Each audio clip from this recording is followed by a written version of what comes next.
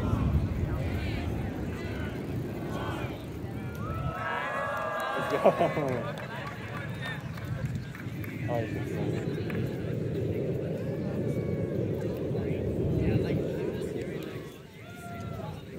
Hi guys. Hello. We're literally smoking weed right now, right? Yeah, we should. We'll talk over there. I'm Oh, so you don't even Huh. smoke weed. Don't lie to Oh, I me. know. Exactly, Why why would you go over there? Showed up. Over there.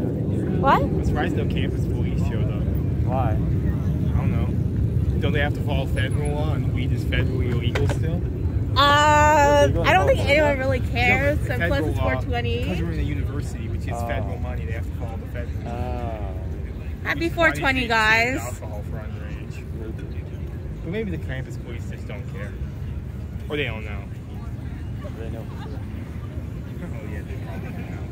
So many people. Where is- Wait, wait, do you guys actually?